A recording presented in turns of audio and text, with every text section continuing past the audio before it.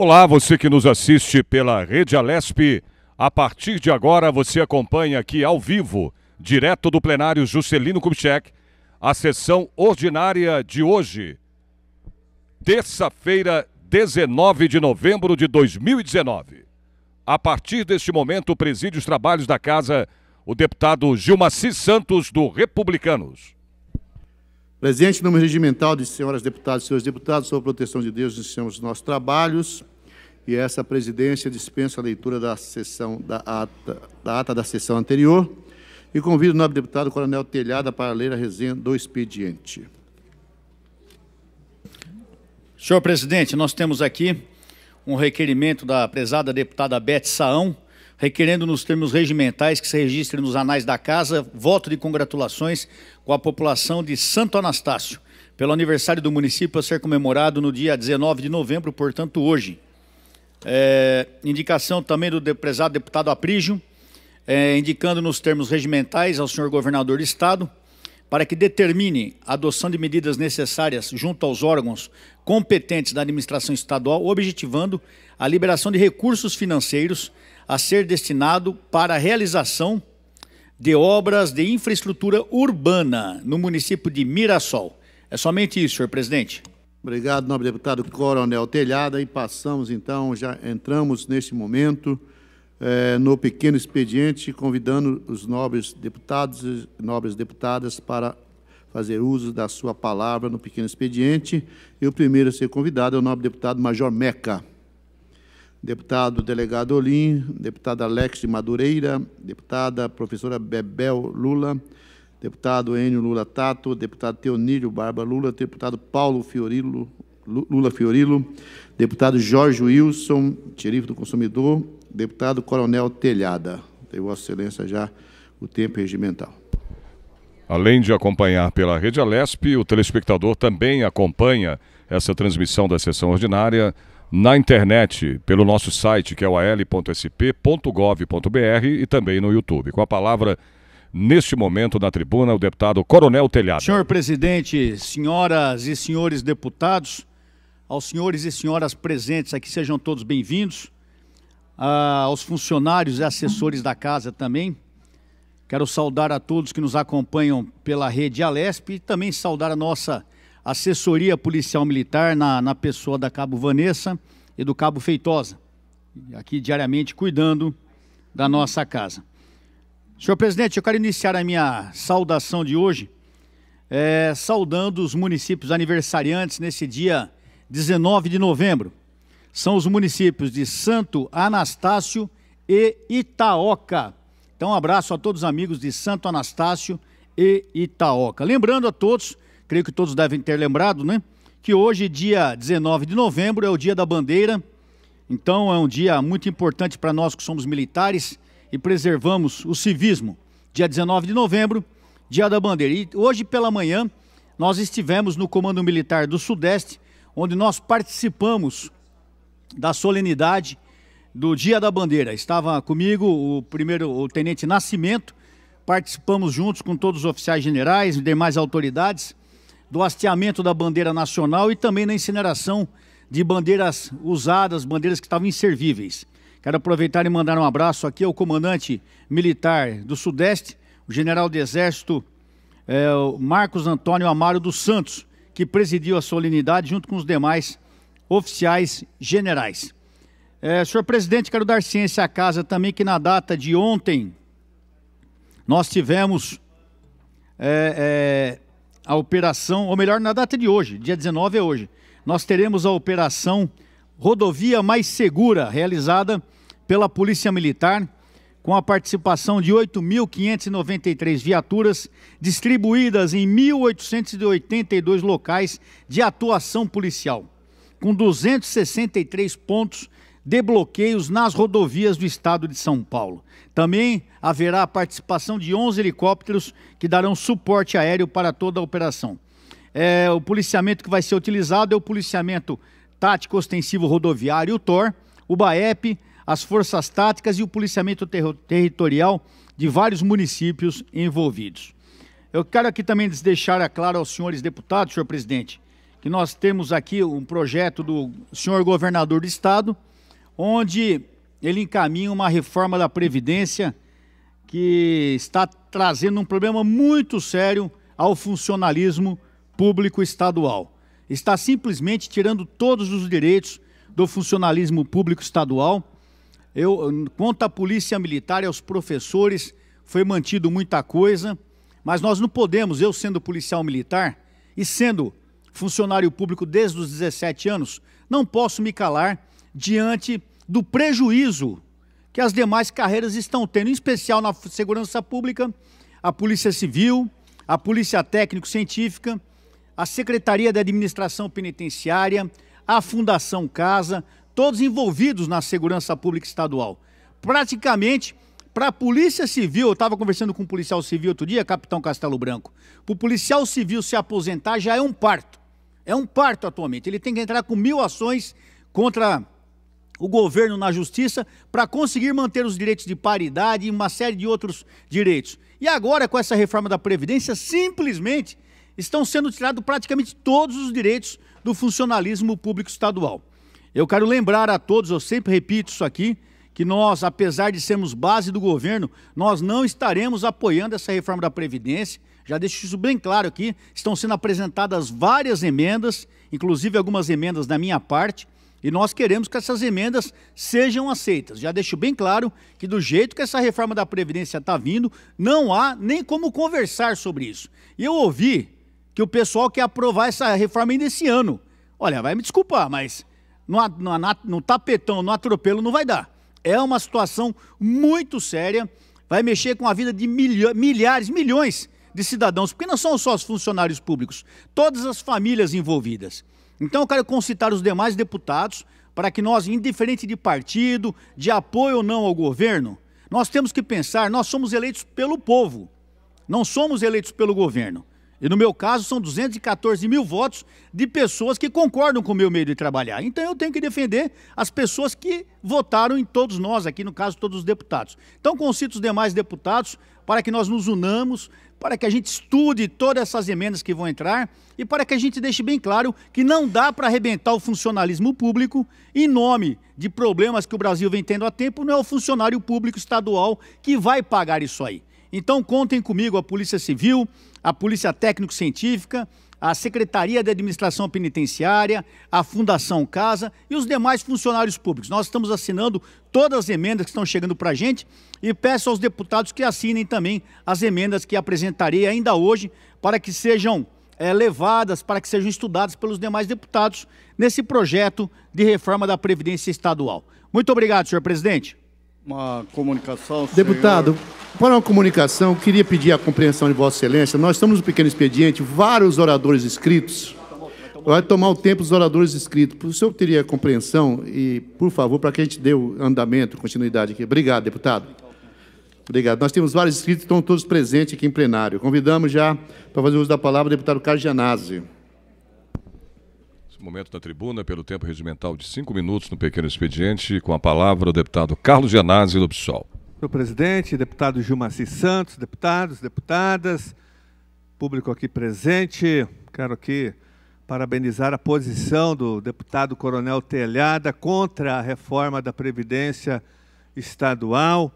É, até porque não é reforma, é uma antirreforma, é uma destruição da reforma da Previdência Estadual, é uma destruição da aposentadoria. Porque esse projeto, deputada Marcelia, deputada Alice Brandão, esse projeto do Dória, que foi apresentado aqui, é pior que o do Bolsonaro. O do Bolsonaro já é uma tragédia, já destrói a seguridade social do Brasil. Né? Vai levar o Brasil a um inferno social. Esse do Dória é pior ainda. É um absurdo. Então nós temos aqui que cerrar fileiras com todos os deputados e deputadas que realmente estejam do lado da população, dos trabalhadores, e das trabalhadoras para obstruir, para nem deixar esse projeto tramitar aqui no plenário, nas comissões, enfim. É um verdadeiro absurdo que queiram, os governos querem jogar a conta da crise econômica, da crise fiscal do Estado em cima dos trabalhadores, como fez agora o governo Bolsonaro, Paulo Guedes, querendo taxar os desempregados, ao invés de taxar os ricos, as grandes fortunas, o Bolsonaro vai taxar desempregado. Quem receber o, o seguro-desemprego vai ser taxado um verdadeiro absurdo, é um ataque frontal aos pobres, às classes trabalhadoras no Brasil. E nós não vamos aceitar aqui no estado de São Paulo que o Dória é, reproduza esses ataques aos direitos dos servidores do estado de São Paulo, que já estão há muitos anos com os salários arrochados, defasados, com as carreiras destruídas praticamente. O que, que foi que o, o governo estadual fez desde Mário Covas até os dias de hoje? com a carreira do magistério, por exemplo, que foi totalmente destruída, arruinada pelos governos do PSDB e várias outras carreiras. Eu me refiro a minha, que é a, a carreira do magistério estadual. Então, esse projeto, repito, esse projeto vai ter a nossa obstrução, nosso voto contrário e o nosso total empenho para que ele não seja aprovado na Assembleia Legislativa. Como fizemos em relação ao Sampa Prev Municipal, que também era do Dória, aqui em São Paulo, em relação ao projeto federal que foi aprovado, nós, o PSOL, e, e, juntamente com a bancada do PT, do PCdoB, nós estaremos juntos aqui e de outros deputados aqui, provavelmente de outras bancadas, porque o projeto é tão ruim, tão perverso, que até mesmo deputados da base do governo já estão se colocando contra o projeto, que vai aumentar a alíquota de contribuição, que se trata, na verdade, de um confisco salarial. Os servidores nem tiveram reposição das perdas inflacionárias e já vão perder 3%, mais 1% que virá em breve é, do IANSP, porque o servidor público paga hoje 2%.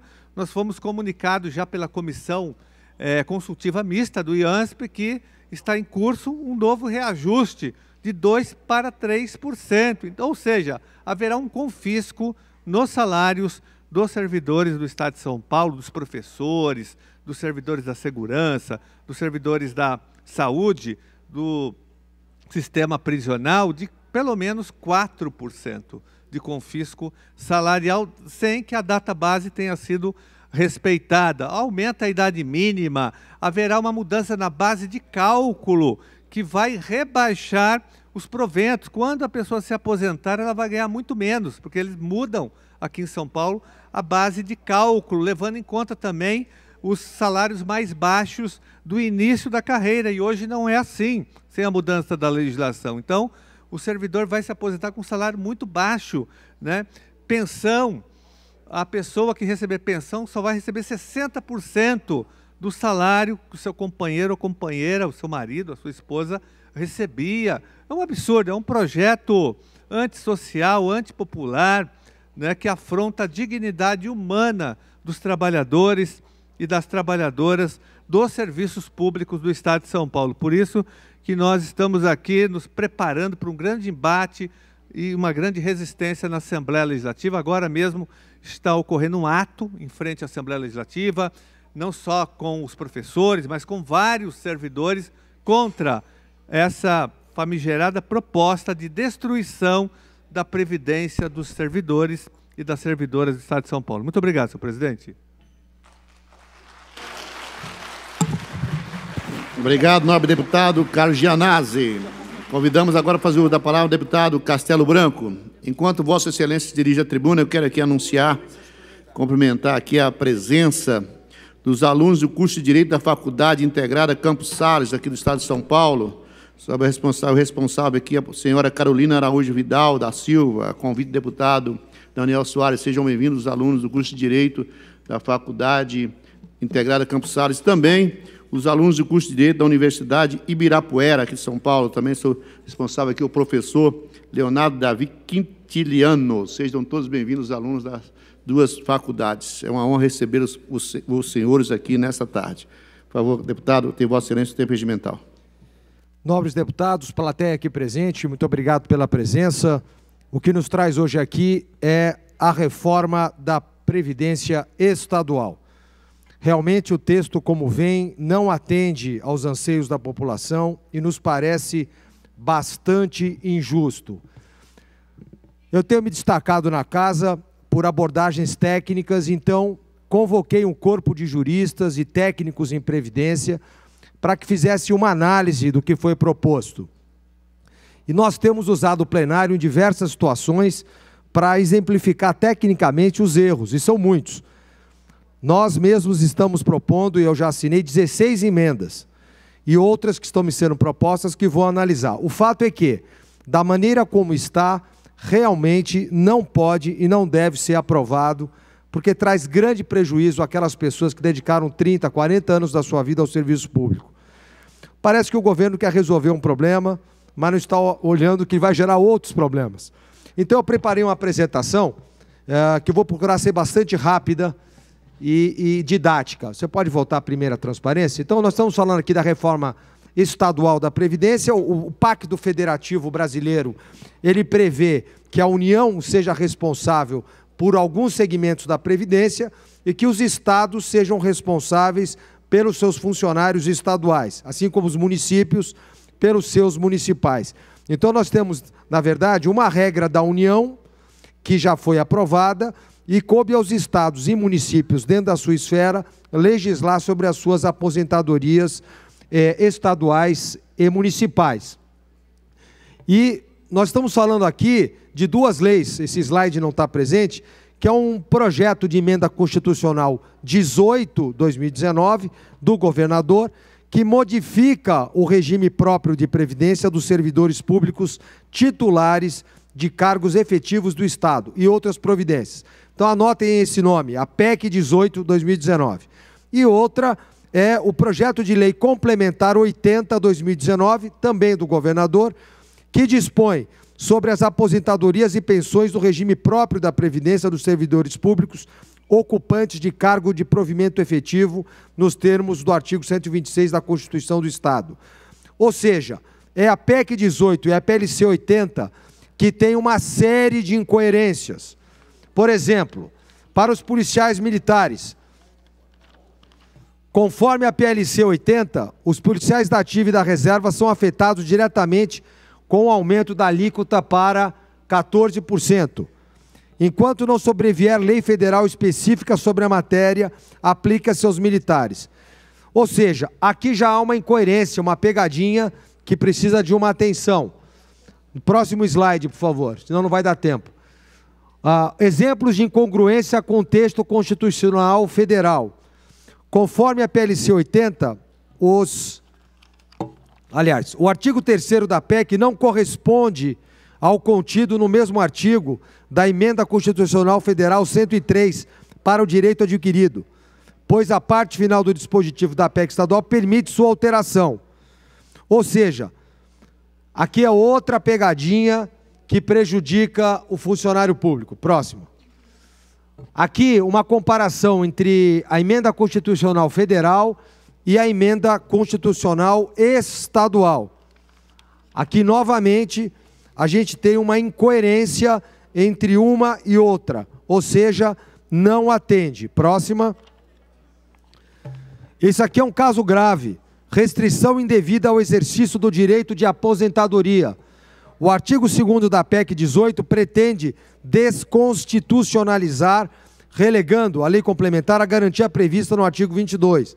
E o artigo 126, o servidor, após 90 dias decorridos da apresentação do pedido, necessário, independente de qualquer formalidade. Isso aqui é muito comum. A pessoa já adquiriu o direito de se aposentar, muitos de vocês já viveram isso, meu pai já viveu isso, ele não consegue ir para casa, porque a burocracia é tão grande que às vezes ele fica dois anos depois do direito adquirido. E eles querem revogar essa lei, que em 90 dias ele é obrigado a ser reformado. Próxima. Na nossa maneira de entender, essa revogação é um retrocesso às garantias do servidor. Deu muito trabalho para provar isso no passado e realmente não cabe. Próximo. Indevida necessidade de tempo mínimo no nível ou na classe. Mais um minuto só, presidente. Diferentemente da norma federal, a PEC 18 e o PLC 80 exigem além dos requisitos ordinários, mais um, cinco anos no nível ou classe para garantir a paridade. Nós entendemos que isto não procede. Próximo. E a emenda sugerida em sintonia com a norma federal.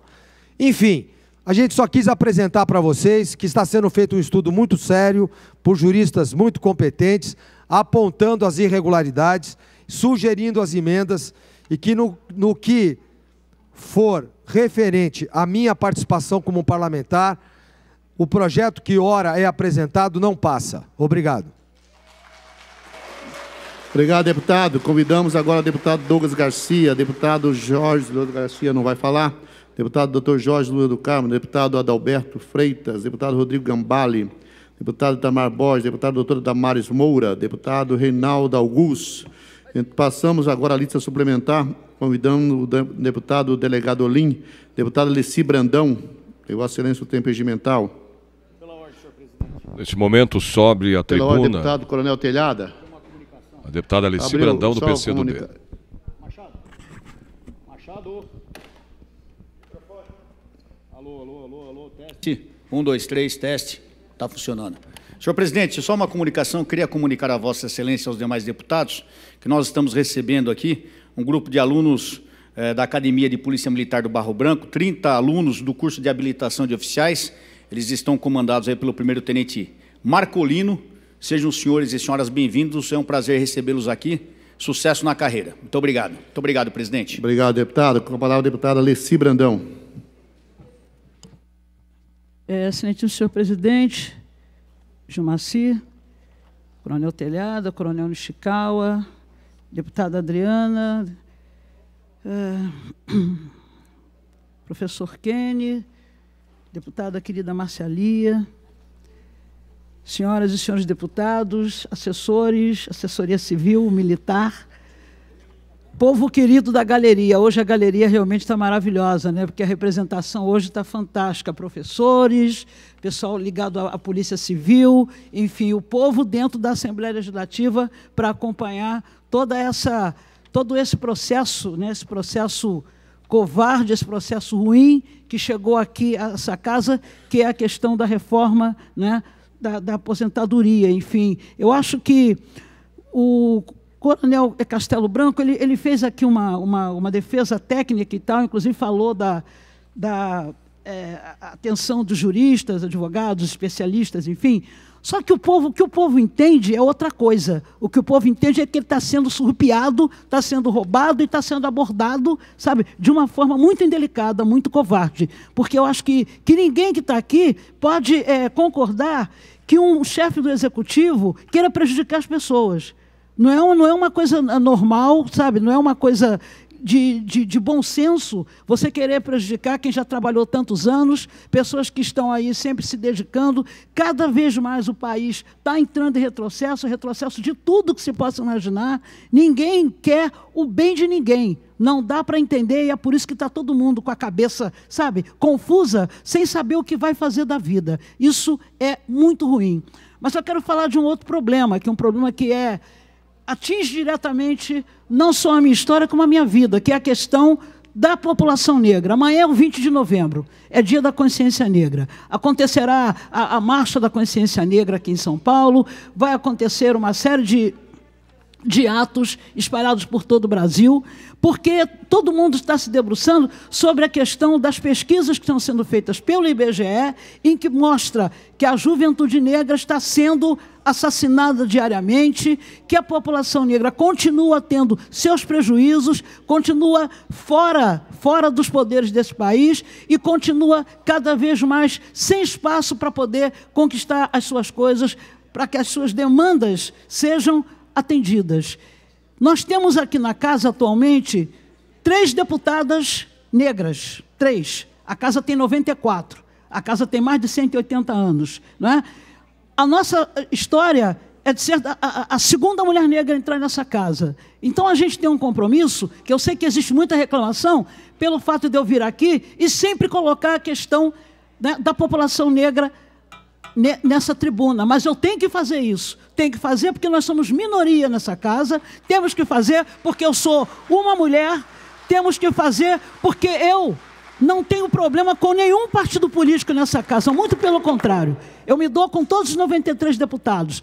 A partir do momento que me respeitem. Quando acontece qualquer coisa nessa casa e que envolve atitude agressiva ou atitude de discriminação contra a população negra, principalmente contra as mulheres negras, eu me manifesto. Eu não venho aqui para atacar quem quer que seja, enfim.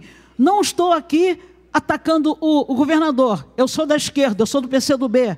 Sou amiga dos deputados do PT, do PSOL, enfim, porque estão sempre aprovando os meus projetos e eu faço sempre questão de assinar os projetos dele. Agora, o que a gente não pode concordar é com o prejuízo do ser humano. O que a gente não pode concordar é com a injustiça. E eu peço encarecidamente que amanhã, que amanhã, quem puder ir para as ruas para poder pedir igualdade, acabar definitivamente com preconceito, a gente vai ficar muito feliz. Eu quero agradecer ao deputado Teonílio Barba, que me convidou para estar hoje lá em São Bernardo do Campo, onde vai haver uma, uma sessão promovida pela é, é, vereadora Ana Nissi, do PT. Ela foi metalúrgica e é uma pessoa que formou-se em História, lá na, na, na Fundação de São Bernardo. E nós estaremos lá sim, porque a gente tem que, pelo menos um dia nesse país, falar da importância e resgatar a história da população negra que tanto contribuiu para o fortalecimento desse país. Muito obrigado, senhor deputado.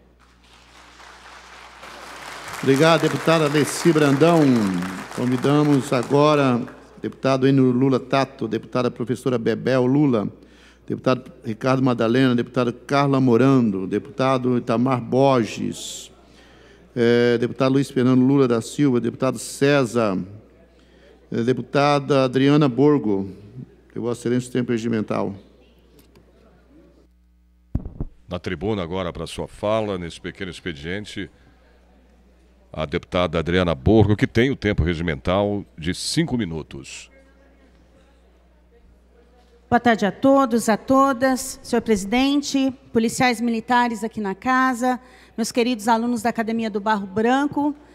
É, eu venho aqui hoje para deixar um misto de indignação em relação às emendas 78, e a, a, desculpa, ao projeto 78 ao 79, que versa sobre os 5% de nada do reajuste dos nossos é, policiais militares e civis e contra a enganação do jurídico e do bônus que o desgovernador de São Paulo tem proposto, uma vez que isso já é uma lei de 74, já existe, ele está de novo colocando no pacote para dizer que é bonzinho, e o que o policial precisa é poder de polícia. E ele precisa estar respaldado pelo seu comando quando se envolver em ocorrência. E mais, ele precisa de especialista para defendê-los. Então, isso é um engodo. Mas o que eu quero dizer é que nós propusemos aqui, vários deputados, emendas contra o projeto de 5%. Então, tem gente que é leigo, ou se faz de leigo, ou quer atrapalhar a nossa luta, e fica aqui com mimimi na tribuna, nossos pares parlamentares, falando que é inconstitucional,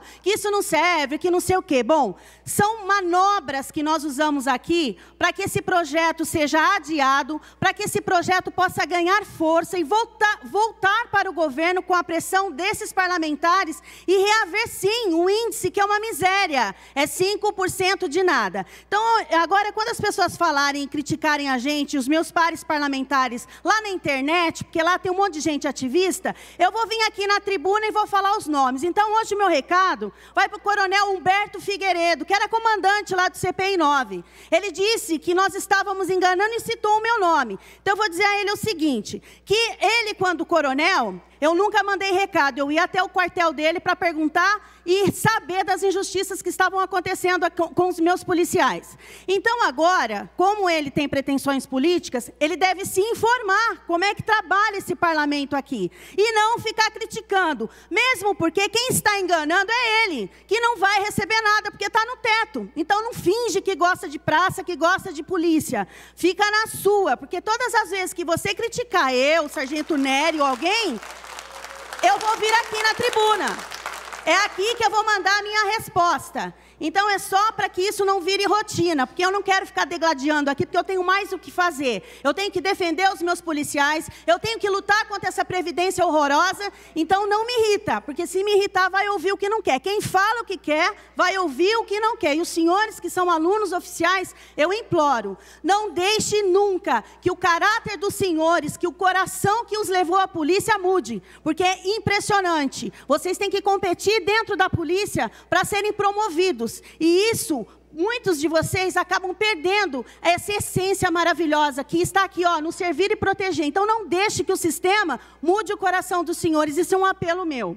Bom, é, eu queria também dizer que hoje no Colégio de Líderes nós vamos fazer uma tentativa de adiar, né, é, a previdência, a votação para que isso fique para o ano que vem. Gente, um absurdo. Um projeto tão interessante e de um impacto tão é, grande na vida dos policiais civis, é, apesar dos policiais militares é, serem retirados desse projeto, mas os professores, os servidores públicos, nós temos que chamar a categoria para ser ouvida. Nós não podemos aceitar uma coisa imposta pelo governo, porque é assim. Tem projetos bons aqui na casa, inclusive meus, que defendem os servidores públicos e que precisam dos 94 para que possa ir para a ordem do dia. Mas quando vem do governador, vem como um trator. Não precisa que metade dos líderes, mesmo dizendo nós não queremos, ele passa, porque aqui quem manda é o governo e seus benefícios. Eu não tenho nada contra a pessoa João Dória, mas eu tenho sim contra o jeito PSDB de comandar as coisas, isso está errado.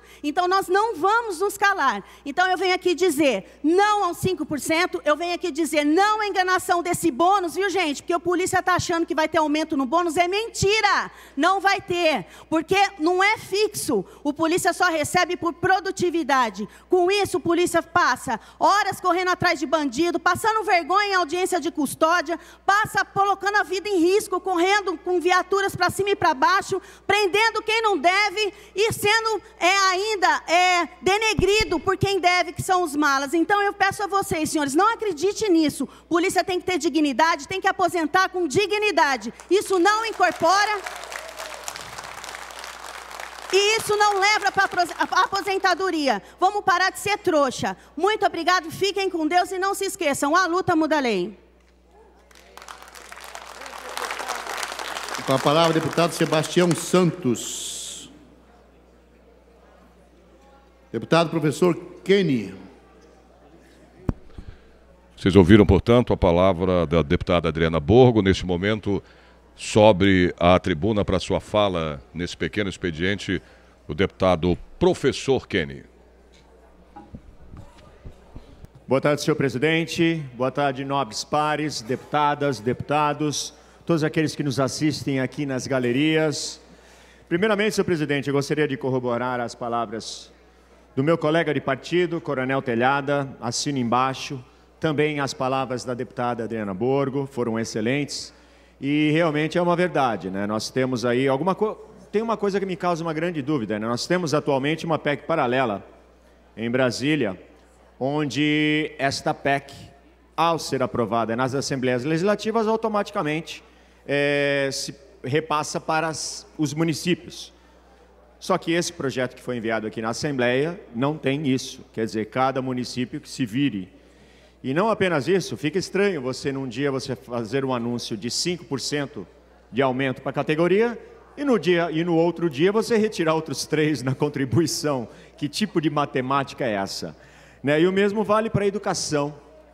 É uma área que eu milito há 25 anos, onde nós temos aí professores agredidos em sala de aula, sem estrutura nenhuma para lecionar, é, sem qualquer tipo de suporte, tendo que muitas vezes ter o seu salário desvalorizado, tendo que comprar é, materiais para poder trabalhar, já que não são fornecidos em muitas das vezes, e ao mesmo tempo servir de psicólogo, de conselheiro tutelar, é, é, é inaceitável. Então, corroboro com as palavras dos meus pares e, e podem contar com o meu apoio. E eu gostaria de falar também, senhor presidente, Senhor presidente, eu gostaria de falar de uma situação que aconteceu esse final de semana, muito grave. Vim a essa tribuna, inclusive, para isso. Foi um grande arrastão que aconteceu neste feriado, na subida da imigrantes uma situação que já não é a primeira vez que acontece, né? uma situação desesperadora de motoristas, pais, mães, filhos, crianças no colo, tendo que sair correndo a pé, descendo a estrada a pé, no meio dos carros, devido ao ataque de marginais naquela região. O sistema esse, Anchieta Imigrantes, que tem o maior pedágio do Brasil e um dos maiores do mundo, por um trecho tão pequeno, e é um sistema que literalmente usa e abusa dos seus usuários, decide quando são feitas mudanças de pistas, a inversão de pistas, é, lucra com a, a arrecadação altíssima da, do pedágio e não apenas isso, também como é, ina, é inacreditável, né? Se, o mesma se a mesma preocupação que eles têm em instalar radares tivessem para instalar câmeras de monitoramento, aquela seria a estrada mais segura do mundo, né? Porque é impressionante. Ali dentro dos próprios túneis, na descida, é, os radares antigamente eles ficavam na entrada dos túneis. Só que com o advento dos aplicativos de GPS, eles acabavam entregando a localização dos radares. Então eles decidiram tirar os radares da entrada dos túneis e colocarem dentro dos túneis para que não pudesse ser detectado pelos aplicativos. Eu falo aqui, quem estiver assistindo também, quem estiver interessado em saber onde estão os radares, primeiro túnel está na primeira baia de segurança, segundo túnel está na segunda baia de segurança, terceiro túnel está na entrada do túnel e na primeira baia de segurança. Radar não é armadilha, radar é para educar é, o motorista e não apenas para simplesmente é, roubá-lo né, no dia a dia. Então, uma medida precisa ser tomada. Eu venho alertando sobre aquela comunidade que está se formando ali na junção da antiga e da nova imigrantes. Temos uma comunidade ali que foi construída dentro do mangue, passando por baixo das duas pistas. E eu rezo todo dia que não haja um grande incêndio, como infelizmente acontece em comunidades de palafitas, porque se isso acontecer, centenas de vidas serão perdidas e não apenas isso com esse incêndio, os riscos estruturais podem ser tão graves que a gente pode ficar simplesmente isolado. A Baixada Santista da, do Planalto, da área da capital do estado de São Paulo, porque as comunidades passam literalmente por baixo daquela estrada. Inclusive a Ecovias, que impressionante o poder que essa empresa tem, construiu um muro ali, eu acho que é o muro mais caro do mundo, 900 metros de muro, que é para tentar prevenir né, a ação da criminalidade, que custaram 13 milhões de reais. Imagina, 900 metros de muro, 13 milhões de reais. É feito de ouro aquilo, eu não sei que tipo de muro é aquele. É uma empresa onde, por um erro de projeto, né, de uma inclinação acentuada na nova pista, foi-se impedido a descida de caminhões e principalmente de fretados, de motoristas de fretados, que descem diariamente, são obrigados a pegar a Anchieta, porque ah, é, não podem descer pela imigrantes, tendo que arriscar a vida diariamente numa estrada sinuosa, com cargas perigosas e toda semana tem um grave acidente naquela estrada. Então eu gostaria de deixar aqui o meu desabafo e o meu pedido ao governo do estado para que tome providências o mais rápido possível. Muito obrigado, senhor presidente. Obrigado, deputado. Com a palavra a deputada Márcia Lula Lia.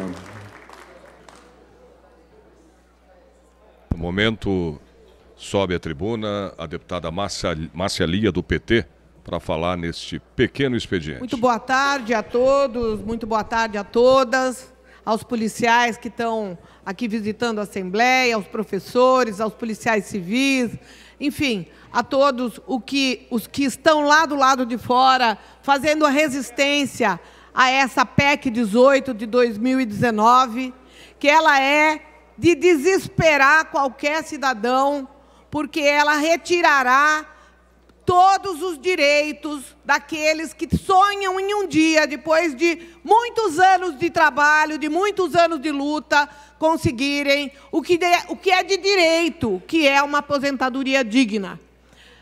Assim, a PEC e o PLC 80 eh, são realmente duas peças que eh, está mobilizando a sociedade, está mobilizando juízes, promotores, delegados, policiais, professores, servidores, fiscais de renda, enfim, todos os servidores, todos os servidores estão é, numa situação muito delicada, porque militaram a vida inteira em defesa do povo paulista, trabalhando pelo povo paulista, nós sabemos a quantidade de policiais que morrem no trabalho, nós sabemos a quantidade de pessoas que perdem, muitas vezes, a sua possibilidade de locomoção, porque ficam aleijados, ficam é, é, com distúrbios mentais e tantos outros problemas. E agora, ao invés deles terem benefícios, deles conseguirem, quando estão chegando próximo da sua aposentadoria, melhorar um pouquinho a sua condição de vida, eles vão ter um retrocesso inimaginável. Essa PEC 18, ela vai ser motivo de resistência. As pessoas têm que ir para a rua, nós só vamos vencer. E aí eu quero mandar um recado para o governador Dória. A sua vida não vai ser fácil daqui para frente, governador, porque o povo vai para a rua, porque nós vamos mobilizar. Já tem muita gente, já tem muita gente lá do lado de fora. E o servidor não vai ficar calado, não vai aceitar esse desmonte da sua estrutura, não vai aceitar o desmonte da Previdência, da forma como o governador está se propondo. E mais, gente, está querendo que isso seja votado esse ano. Sabe por quê? Porque o ano que vem é ano eleitoral. Então ele quer fazer todas as maldades que ele tem que fazer nesse ano. Porque o ano que vem ele quer mentir para o povo paulista de novo, dizendo que o PSDB é o melhor partido que tem. Olha aí o resultado do erro do povo paulista.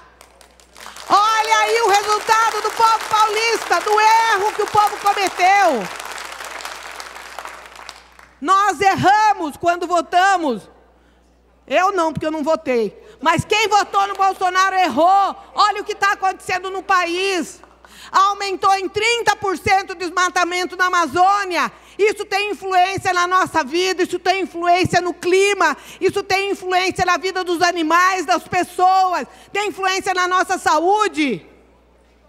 E hoje, quando o senhor Bolsonaro foi inquirido a respeito do aumento dos 30% de queimadas e de devastação na Amazônia, ele preferiu se calar. Assim como ele se calou, calou para resolver o problema do Queiroz, assim como ele se calou para explicar quem estava na casa 58, lá no condomínio Vivendas, assim como ele tem se calado com o desmonte que ele tem feito do Estado brasileiro, com o fim da democracia, com o fim da soberania nacional, com a entrega de todo o patrimônio do povo brasileiro, e agora, aqui no estado de São Paulo, eles querem tirar aquilo que o povo conseguiu, que foram poucos direitos. A deputada Adriana falou, que me antecedeu, de que ele está propondo 5% de reajuste para os servidores, para os policiais. Só que ela não falou, ou se falou, eu vou reforçar, ele está aumentando em 3%, de 11% passa para 14% desconto da Previdência. E mais 1% no IANSP. Então, na verdade, ele dá 5 e tira 4. Dá com uma mão e toma com a outra. É isso? É disso que se trata. Então, nós vamos fazer resistência. Mas nós precisamos dos sindicatos junto com a categoria. Nós precisamos de todas as categorias unificadas todas as categorias representadas, para que a gente possa ir para a rua e para que a gente possa dizer não, não à PEC 18 e não ao PLC 80. Muito obrigada. Com a palavra, deputado Coronel Nishikawa. Palavras da deputada Márcia Lia, neste momento, na tribuna, para sua fala neste pequeno expediente, pelo tempo regimental ainda de cinco minutos, o deputado Coronel Nishikawa.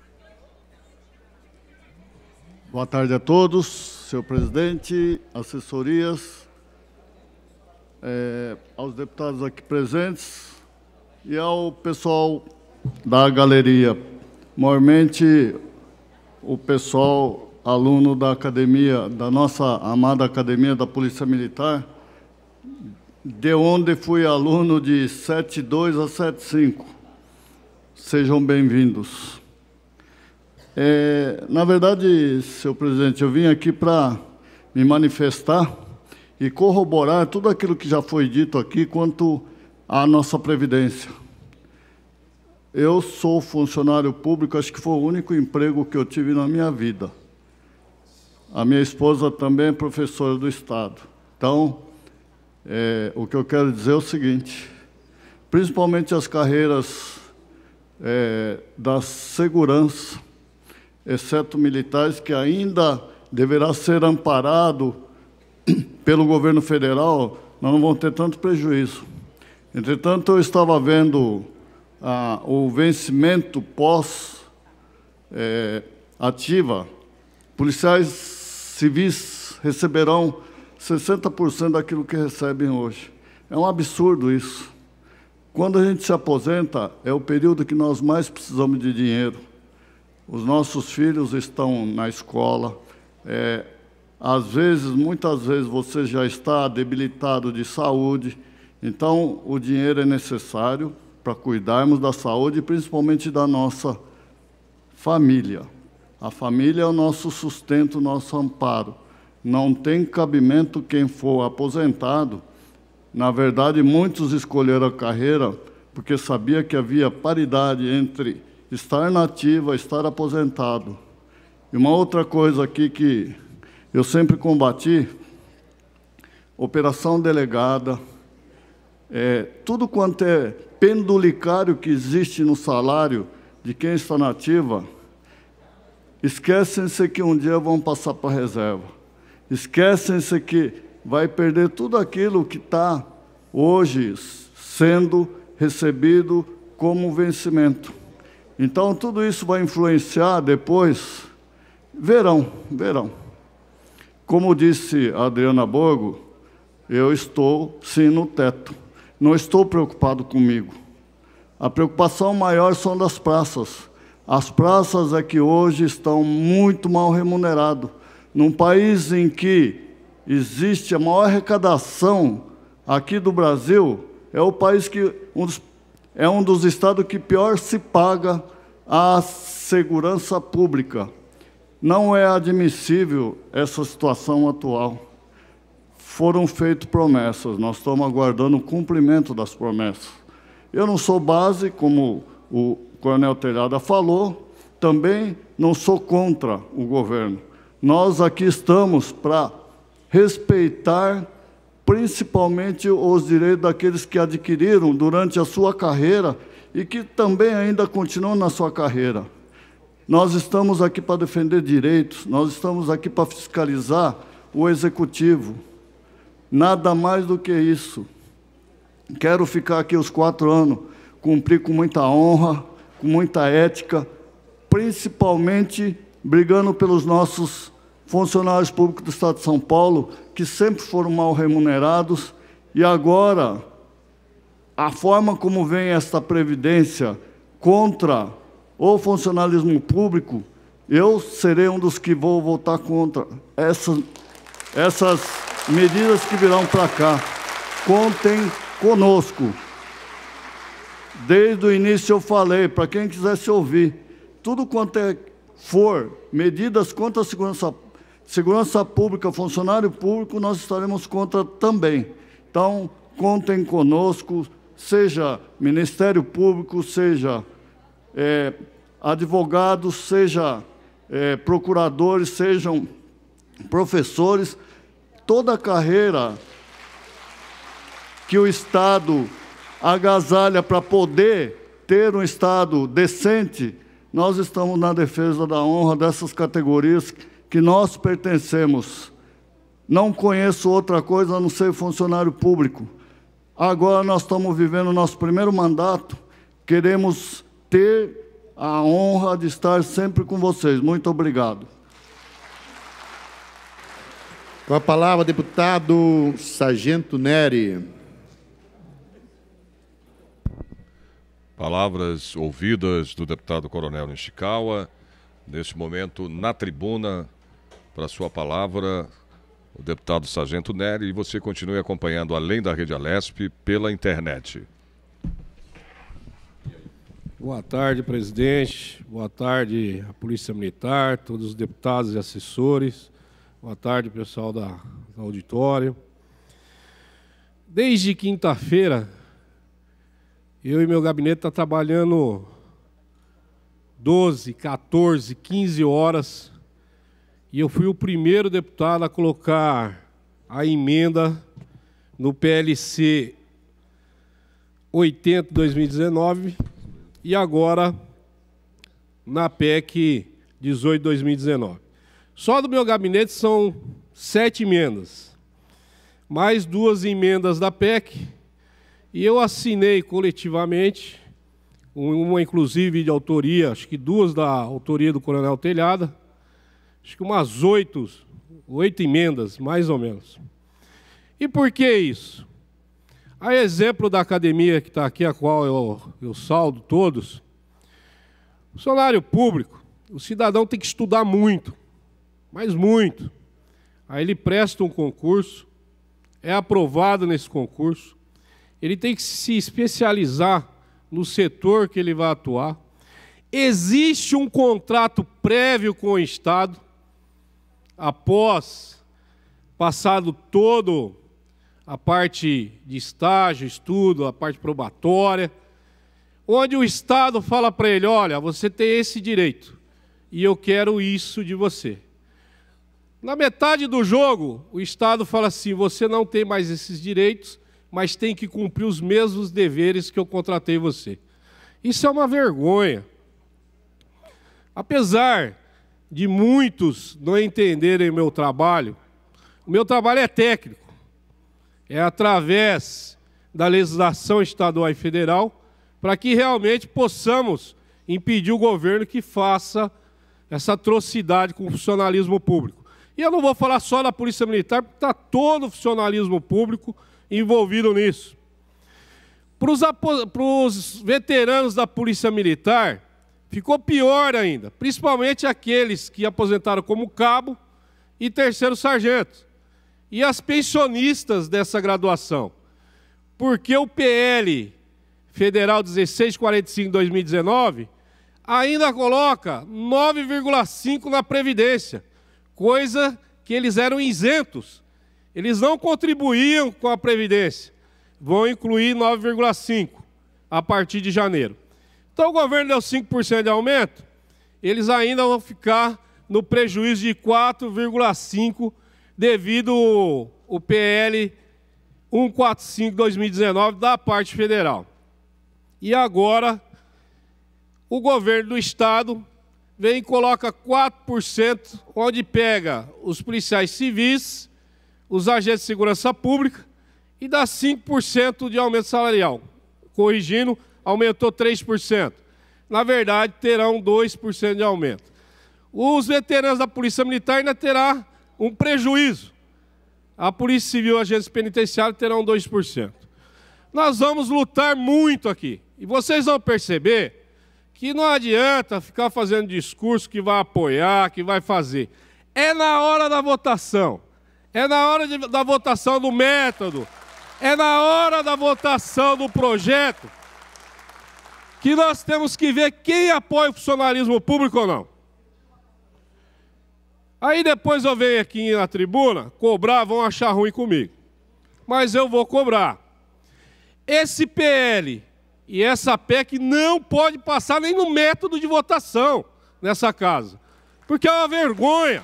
E nós não podemos deixar.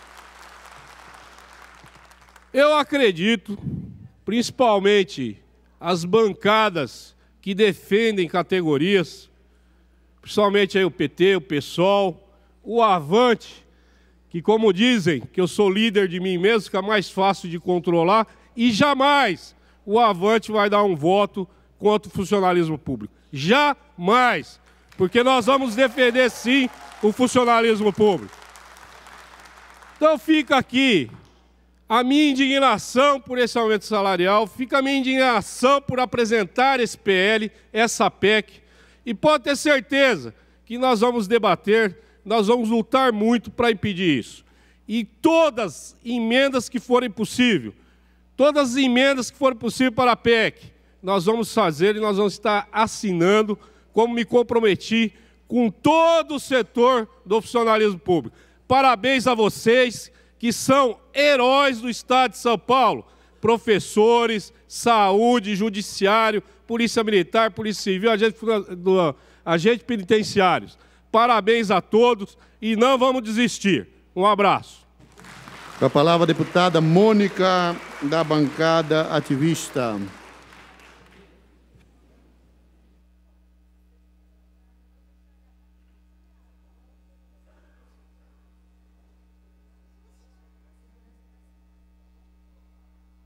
Eu vim aqui anunciar, né, comunicar à casa que o mandato da bancada ativista está entrando hoje com um mandado de segurança, um pedido de liminar para impedir a tramitação às pressas e injustificada de uma reforma da Previdência do Estado de São Paulo. Ao enviar essa proposta. Ao enviar essa proposta aqui para casa, o governador João Dória descumpriu a Constituição e não mandou dados e estudos técnicos que é, expliquem e justifiquem por que da necessidade de uma reforma. Sem saber se existe problema, qual é o problema, qual é o tamanho do problema, fica impossível justificar qualquer proposta e agir na, na tentativa de saná-la. Qual é o problema que o Estado de São Paulo está resolvendo?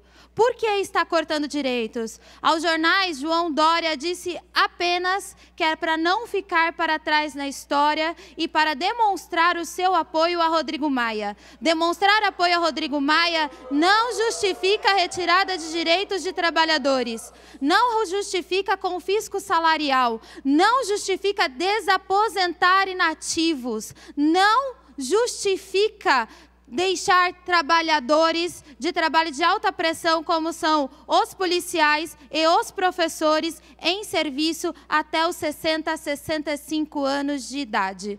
Por isso, a gente questiona na justiça a ausência de dados técnicos, e isso é constitucional, barrou a tramitação no Congresso Federal, e aqui deve ser usado o mesmo Congresso, é impossível analisar o projeto sem estudos técnicos. A gente quer saber, e a presidência dessa casa tem que agir para responder qual é o problema da Previdência. Porque sem esse debate, a gente sequer tem condições de votar qualquer proposta de reforma da Previdência. Outro tema que precisa ser dito é que Dória protocolou, muito maldosamente, uma proposta de PEC proposta de emenda à Constituição, entre dois feriados. O prazo para emendas é de apenas três sessões, entre dois feriados, o que inviabilizou que a maioria dos parlamentares dessa casa tivesse tempo hábil de estudar a matéria, falta dados também, falta parte do projeto para que a gente possa estudá-lo e conhecê-lo a contento, e conseguir 32 assinaturas, porque para uma PEC é impossível que um parlamentar apresente emenda sozinho. Ele precisa da assinatura de 32 parlamentares. Em meio a feriado, foi muito difícil encontrar 32 é, parlamentares para assinar qualquer qualquer iniciativa em conjunto. Por isso, muitos dos parlamentares aqui estão encontrando dificuldades de propor alteração no texto. Dória quer enfiar uma reforma goela abaixo. Dória quer enfiar um texto do jeito que ele sonhou sozinho. Dória despreza a Assembleia Legislativa tanto quanto despreza os servidores públicos. Dória Dória desrespeita as nossas atribuições e o direito dado por nós pela população de fiscalizar as suas, as suas ações. Por isso, não é aceitável que o prazo para emendas termine hoje. Não é aceitável voltar essa reforma da Previdência sem justificativa de por que essa reforma foi apresentada nessa casa. Não é aceitável votar essa reforma da Previdência no final de ano que tem orçamento, PPA, contas para aprovar e que a gente não vai ter tempo hábil de fazer o debate a contento dessas peças tão necessárias e importantes para a vida da população de São Paulo. E não é aceitável que o governador João Dória queira governar sozinho como se fosse um rei. Ele não é. E nós vamos dar trabalho, nós vamos obstruir, e os servidores, eu tenho certeza, que vão incendiar as ruas e vão demonstrar a sua força, porque é quem de fato sustenta o trabalho e os serviços públicos que atendem a população mais carente do estado de São Paulo. Se tem uma coisa que chega, infelizmente, mas se tem um serviço público que chega em todos os cantos do estado, que atende mães, de classe média, as pobres, as ricas, que atende as famílias, que atende os jovens, os carentes, os de classe média, é a escola e a polícia. A escola e a polícia são o único braço do Estado que chega em todos os lugares. E a grande mobilização dessas categorias que devem estar unidas agora, porque vocês estão vendo que é contra vocês de conjunto. A saúde também, a saúde também. É que os policiais e os professores devem ter noção do seu tamanho, eles são muito grandes, eles são 80% dos atingidos por essa reforma. Dória faz meia boca, mas ele despreza essas categorias. Os servidores de conjunto como um todo. Para derrubar, para encerrar, na opinião pública, para encerrar, os servidores públicos vão derrubar, na opinião pública, a retirada dos seus direitos, porque são servidores e serviços muito importantes para a manutenção da vida do povo pobre do Estado de São Paulo. Nesse momento, encerrado o pequeno expediente, passamos ao grande expediente, já convidando para fazer o uso da palavra, por sessão de tempo, o nobre deputado Douglas Garcia.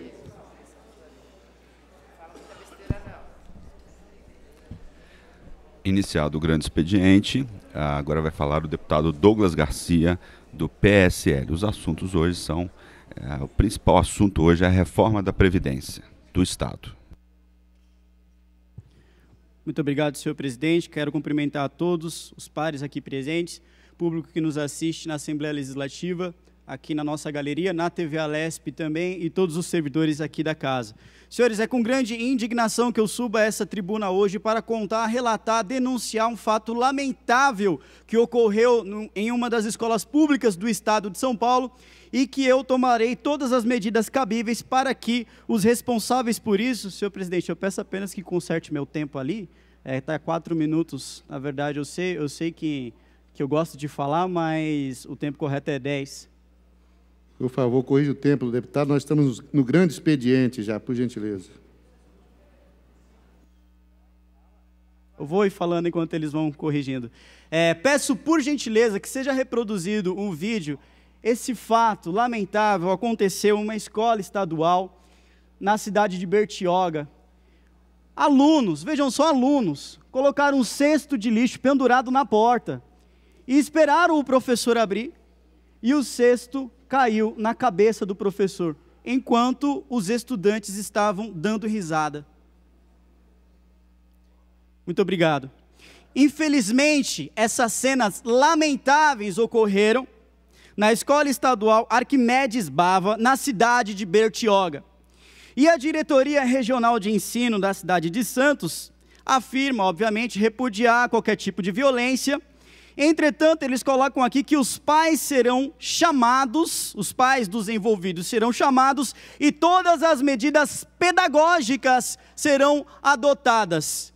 A Diretoria Regional de Ensino de Santos não são medidas pedagógicas que precisam ser adotadas, são medidas punitivas. Porque a pessoa que faz isso daí, o ser humano que faz isso daí, tem total ciência do que faz. Não apenas esse caso lamentável que ocorreu na escola estadual, como também nós tivemos na cidade de Lins, aqui no estado de São Paulo, um professor de 62 anos que foi agredido, teve oito pontos numa escola estadual. Também na cidade de Cravinhos, aqui no estado de São Paulo, um outro professor de escola estadual, ele foi agredido simplesmente porque o aluno não gostou da nota. Medidas pedagógicas, não, são medidas punitivas. E isso não é estudante, isso é meliante. Quem faz esse tipo de coisa é meliante. Eu só espero que o governo do estado de São Paulo venha tomar atitudes mais enérgicas no sentido de trazer segurança ao professor dentro da sala de aula. Talvez trazendo essa escola mais segura que João Dória quer trazer para essa Assembleia, que até agora ainda não entrou, ou talvez mesmo a questão da conversão em colégios cívico-militares. Deputado, deputado, hoje... só um minuto. Senhoras e senhores, os senhores até o momento estavam indo muito bem. Portanto, eu peço que continue do jeito que o senhor estava. Não é permitido vaiar o deputado quando ele está na tribuna. Ele tem o direito de falar o que ele quiser falar. Isso é do deputado. E os senhores não podem se manifestar dessa forma. Então, por gentileza, eu solicito que os senhores e a senhora permaneçam, mantenham do jeito que estavam, que é uma alegria ter os senhores aqui conosco nessa sessão do dia de hoje. Muito obrigado. Senhores, o grande ministro Abraão Weintraub, que é o melhor ministro da educação que esse país já teve, o melhor ministro da educação que esse país já teve, tem o programa de trazer colégios cívico-militares para todas as cidades e todos os estados do nosso país. João Dória precisa atender ao chamado da população paulista e sim integrar ao programa de colégios cívico-militares, porque nós não podemos mais aceitar que professores sejam agredidos na sala de aula, da mesma forma que vem acontecendo, infelizmente aconteceu, na cidade de Bertioga. Eu vou tomar todas as medidas cabíveis para que aqueles que agrediram o professor de forma tão baixa tenham sim a sua punição devida. E vejam só, nas palavras do professor, não machucou, mas foi uma punhalada na alma. Pensei em abandonar a carreira. Quantos professores hoje nós sabemos que, infelizmente, é uma categoria que não é reconhecida, é uma categoria que não tem um bom salário. Nós, sim, nessa Assembleia, lutamos não só para que os policiais militares e agentes de segurança pública, mas também os profissionais de educação tenham, sim, um bom salário. E, inclusive, antes eu já tinha feito esse compromisso e reitero aqui novamente: só voto sim para aumento salarial de agente de segurança e também de agente educacional, professor e todos aqueles que trabalham na rede de ensino. Porém, o que está acontecendo, senhores, são os professores sendo cada vez mais desmotivados a trabalharem em sala de aula diante de cenas como essa que eu trouxe a essa Assembleia Legislativa. E o professor continua: apesar da relação difícil, ainda há alguns alunos com quem eu me dou bem, mas o que mais me entristece é que não teve nenhum que enfrentasse os colegas e apostassem aquilo que estava e apontassem aquilo que estava errado. Meu caro professor, trago aqui a essa tribuna o meu lamento diante da covardia que o senhor sofreu nessa escola. Entretanto, eu, como ex-estudante de escola pública, porque eu estudei a vida inteira em escola pública, escola de periferia, nascido e criado no bairro do Buraco do Sapo, na favela do Buraco do Sapo, aqui na zona sul da cidade de São Paulo, sei muito bem o que acontece em escola pública. Nós temos lá meia dúzia, não de estudantes, mas de meliantes, pessoas que infelizmente estão lá única e exclusivamente para trazer furdúncio, para fazer bagunça, para fazer balbúrdia, que é o que mais eles sabem fazer, para fumar maconha dentro da sala de aula, para trazer drogas dentro da sala de aula, para agredir o professor e aquele que se posiciona contra ou denuncia tem a sua integridade moral e física colocada em risco. Eu sei disso porque eu passei por isso, falo isso com total propriedade, com todo respeito aos demais deputados aqui da casa, fui o último a sair do ensino médio pelo fato de ser o mais novo, concluí agora em 2012, então eu tenho certa propriedade para dizer com mais atualidade aquilo que se passa dentro das salas de aula. E infelizmente é isso que acontece. Aquele professor que não se posiciona de forma rígida, eles simplesmente montam em cima do professor, eles simplesmente fazem o professor de capaz. É um absurdo, senhores. Essa Assembleia Legislativa precisa tomar providências, precisa tomar providências legislativas no sentido de proteger o professor, no sentido de trazer mais segurança ao profissional de educação. Ah, mas é porque nós não podemos discriminar, eles são menores, eles não têm consciência dos seus atos. E quem pega um cesto de lixo e pendura sobre uma porta para cair na cabeça do professor, tem consciência sobre os seus atos, sim. Eles não são nem um pouco inocentes, eles não são nem um pouco infantis, eles têm total ciência do que estão fazendo. Poderia ter acontecido uma coisa muito pior, dependendo da forma com que esse cesto de lixo caiu sobre o professor. Poderia ter acontecido algo muito mais grave. Então eles têm ciência do que faz e eles precisam sim ser punidos. É um absurdo que nós tenhamos que conviver com esse tipo de gente na sala de aula. Não é o vasto investimento, é a quem ele é direcionado. Não adianta investir em quem não quer estudar. Não é a falta de investimento, é o método. O método Paulo Freire criou uma geração podre de mimada. Criou uma geração podre de mimada. E Deputado, só um minuto. Senhoras e senhores, eu vou falar mais uma vez apenas. Eu vou solicitar às senhoras e aos senhores, mais uma vez, que não façam isso, senão vão ter obrigado a tomar atitudes aqui, segundo o regimento, que não vai agradar os senhores e as senhoras. Então, volto a repetir. Enquanto o deputado estiver na tribuna, ele pode falar e os senhores não podem vaiar dessa forma. Quando terminar a fala, se assim desejarem, o façam com todo respeito. Mas eu vou pedir pela última vez para que não repita isso. Muito obrigado. As escolas públicas cívico-militares, por exemplo, do estado de Goiás, do estado de Amazonas e muitos outros estados da federação, que gastam exatamente o mesmo percentual que uma escola conven convencional, exatamente a mesma quantia. Eu não estou falando de escola cívico-militar do Exército Brasileiro, mas aquelas que eram escolas convencionais e foram convertidas em escolas públicas cívico-militares, tendo a sua geração, tendo, é, sendo gerida por policiais militares militares e os seus professores sendo civis. Essas escolas estão nos melhores lugares do Exame Nacional do Ensino Médio. Dentre as 10 melhores escolas do estado, essas escolas estão entre as 10 melhores colocadas no Enem. Por que nós não podemos trazer isso também para o estado de São Paulo? Por que nós não podemos fazer isso também aqui para os paulistas?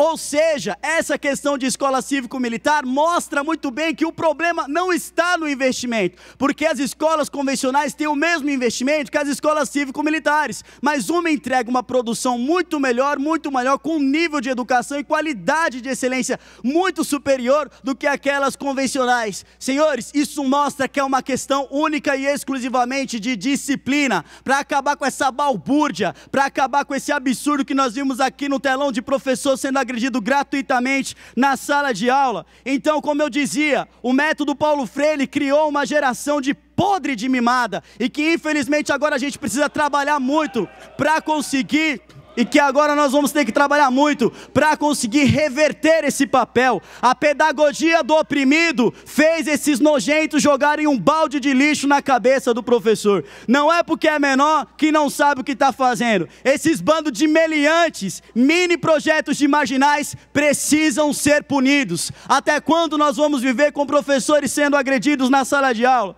Eles falam que a educação é um direito, por isso que nós não podemos privar aqueles que não querem estudar de estar na sala de aula. Ora, isso é balela, uma ova. A educação ela é um dever. A educação, ela prova que ela não é para todos, mas apenas aqueles que a buscam, independente da classe social. Se você é pobre, se você é rico, se você é de classe média, a educação é apenas aqueles que a buscam. E aqueles que estão hoje nas salas de aula atrapalhando a maioria de querer entrar numa universidade pública de qualidade, aqueles que querem sim de fato ter um futuro, precisam ser estipados da sala de aula. Não é com medida pedagógica, não, é com medida punitiva sim. Eles devem ser expulsos, eles devem ser tratados como eles querem tratar os professores na sala de aula. Se eles querem ser marginais, que sejam em suas casas, que sejam nas ruas, mas que deixem as escolas livres para que o estudante que de fato quer estudar consiga entrar numa universidade federal, consiga entrar numa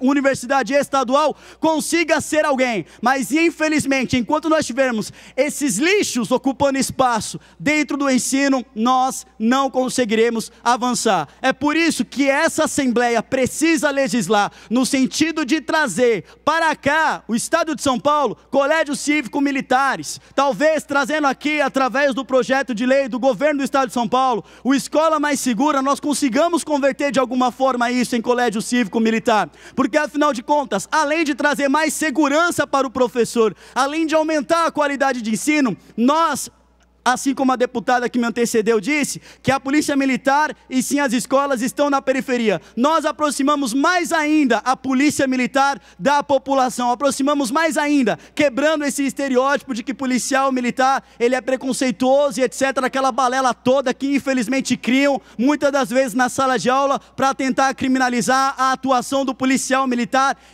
em detrimento da vida da juventude negra e periférica. Quero trazer aqui essa Assembleia mais uma vez. Senhores, vamos acabar com isso que está acontecendo nas salas do Estado de São Paulo. Acabou. Nós não podemos mais permitir que o professor seja tratado dessa maneira, dessa forma. Professor, ele é feito sim, única e exclusivamente para receber respeito. Eu posso discordar de diversos posicionamentos da professora Bebel, do professor Carlos Gianazzi, do pro, de diversos professores que estão aqui, que são deputados estaduais, mas eu os respeito e eu espero que esse respeito venha também por parte das salas de aula. Meu muito obrigado, senhor presidente.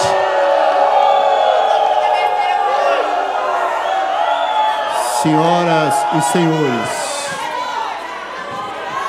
senhoras e senhores, eu acredito que eu acredito que todos os senhores e as senhoras que estão aqui são pessoas de bem, do bem, que conhecem leis, o regimento e sabem que o que estão fazendo estão errado. E se essa presidência tiver que tomar uma atitude contra as senhoras e senhores, vão entender que estão tomando, estão tomando atitude de maneira correta. Então, peço mais uma vez, os senhores são bem-vindos a essa casa, mas não pode manifestar desse jeito. Os senhores têm consciência disso. Então, só peço que hajam de acordo com o regimento, para que essa presidência não tenha que tomar atitude que não vão agradar a muitos. Muito obrigado.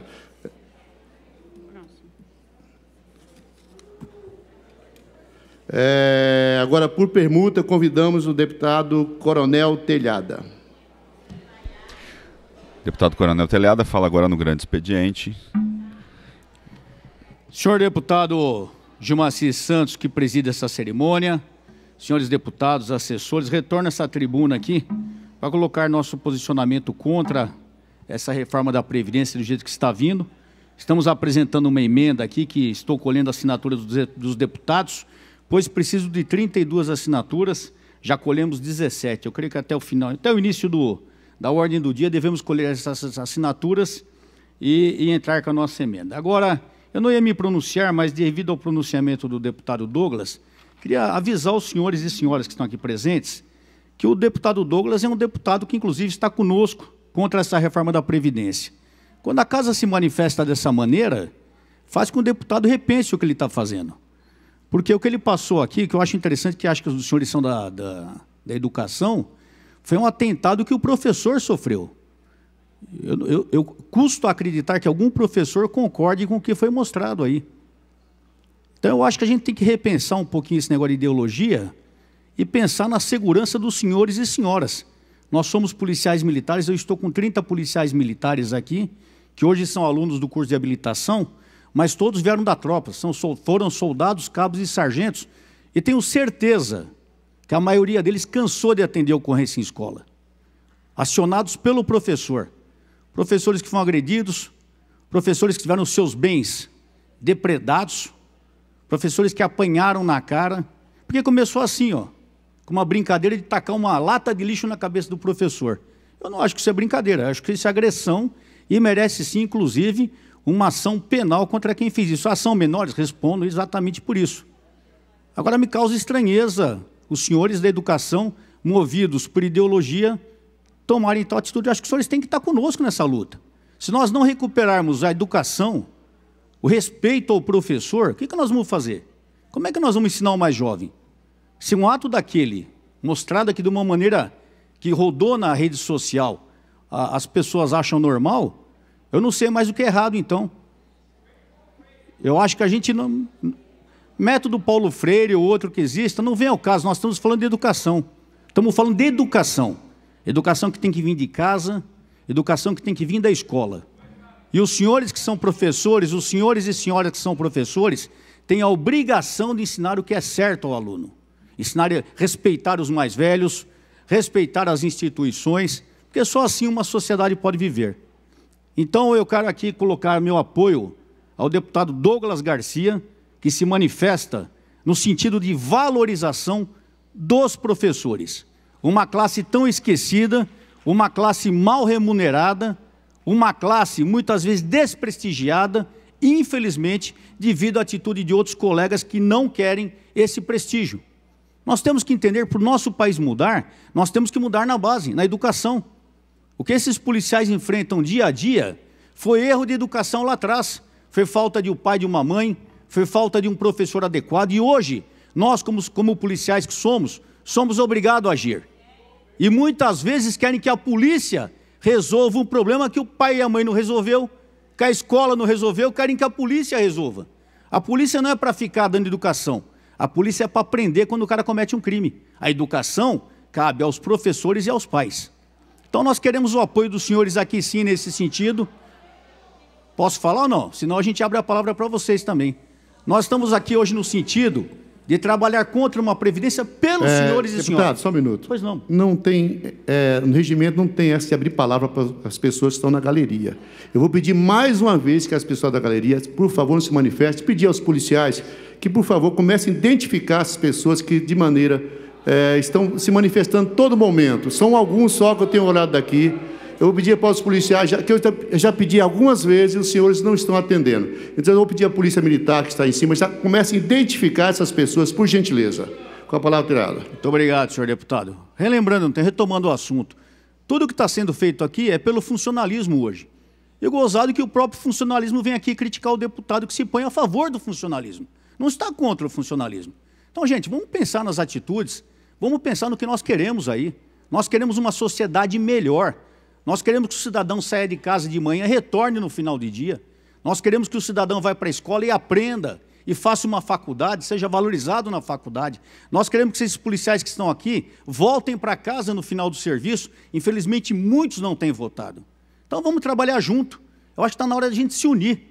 Trabalhar junto por uma sociedade melhor. Não ficar brigando por ideologia aqui. A outra deputada chegou, falou um monte de coisa do Bolsonaro, todo mundo achou normal. O outro vem, apresenta o ponto de vista, todo mundo. Isso aqui é, uma, é um parlatório, cada um tem o direito de falar o que quer aqui nesse, nessa tribuna, porém ele foi eleito para isso.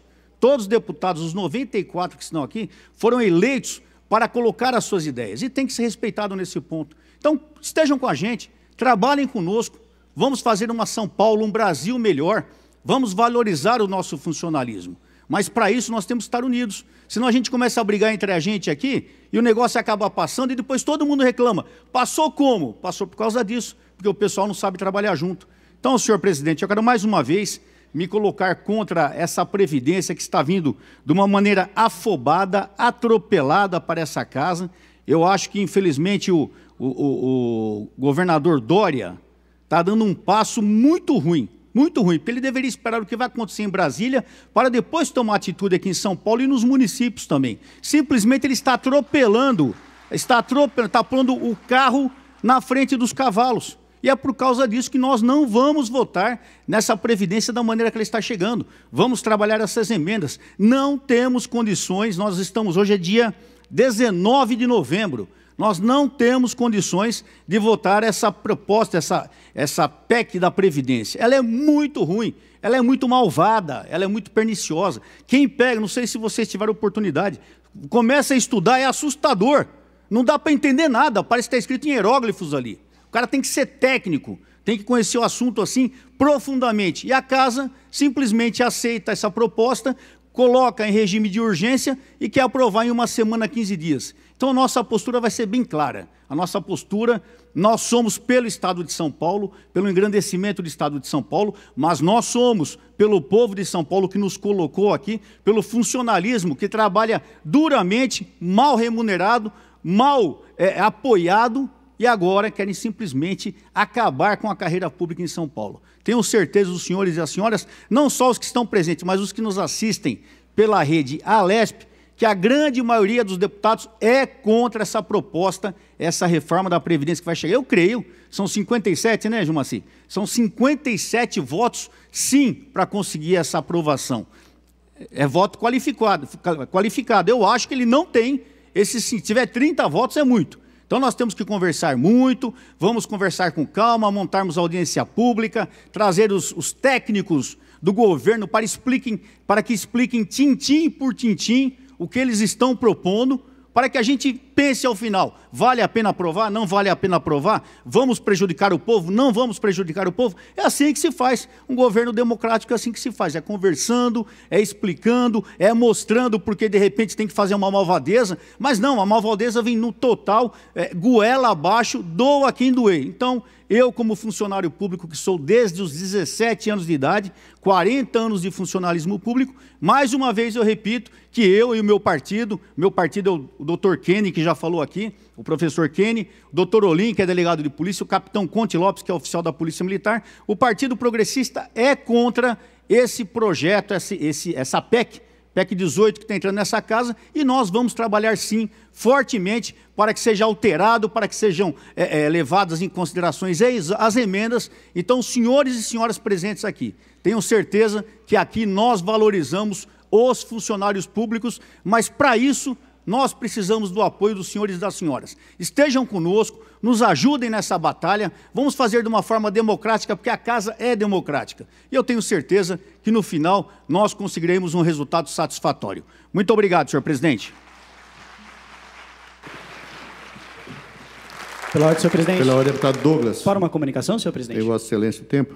Muito obrigado, senhor presidente. Senhor presidente, apenas para anunciar essa Assembleia Legislativa que estamos recebendo hoje o prefeito de Mirandópolis, Everton Sodário. Por gentileza, Everton, se coloque aí de pé para o pessoal te conhecer. É, Everton Sodário é prefeito de Mirandópolis, foi o primeiro prefeito eleito por Jair Bolsonaro no estado de São Paulo.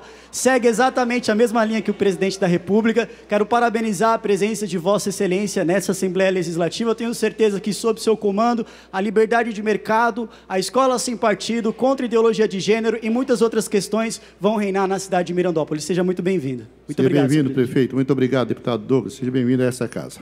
É, convidamos agora o nobre deputado Alex Madureira, Jorge Wilson, deputado Carlos Gianazzi.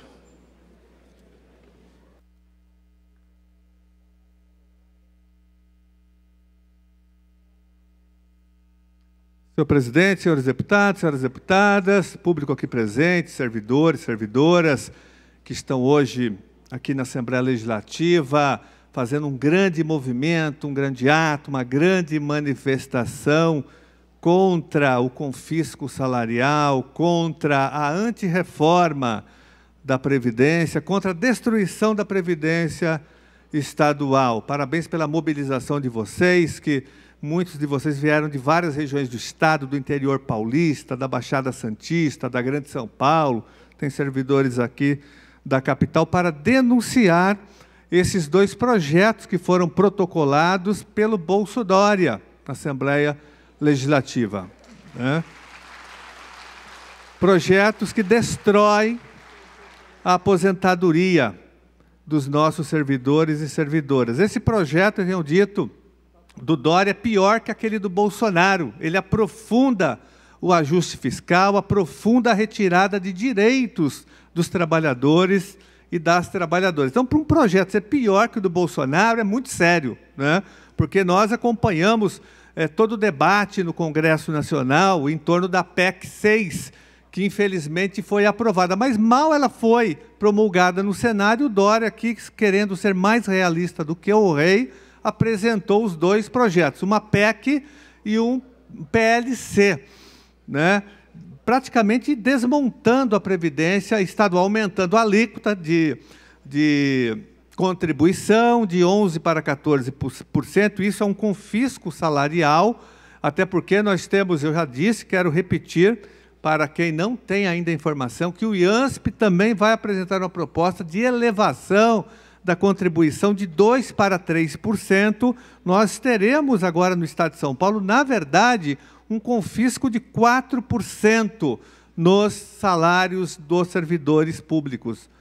4%. 3% da, do confisco da reforma, da antirreforma da Previdência, e mais 1% a mais do IANSP. É um verdadeiro absurdo. Sem contar que, por exemplo, não foi para todas as categorias profissionais, não foi cumprida a data base salarial que venceu no dia 1 de março. Dia 1 de março tinha que ter uma reposição das perdas da inflação. O governo não respeitou a lei estadual, nem a Constituição Federal, o artigo 37, que obriga todos os entes federativos, municípios, estados e União, a conceder uma reposição, não é nem reajuste, a reposição das perdas inflacionárias. Isso não aconteceu. Aliás, há muitos anos que não acontece, porque o PSDB, com a sua política de ódio contra os servidores, não vem respeitando a legislação, não respeita a lei da database, não respeita para nós, professores, para nós da educação, não respeita a jornada do piso,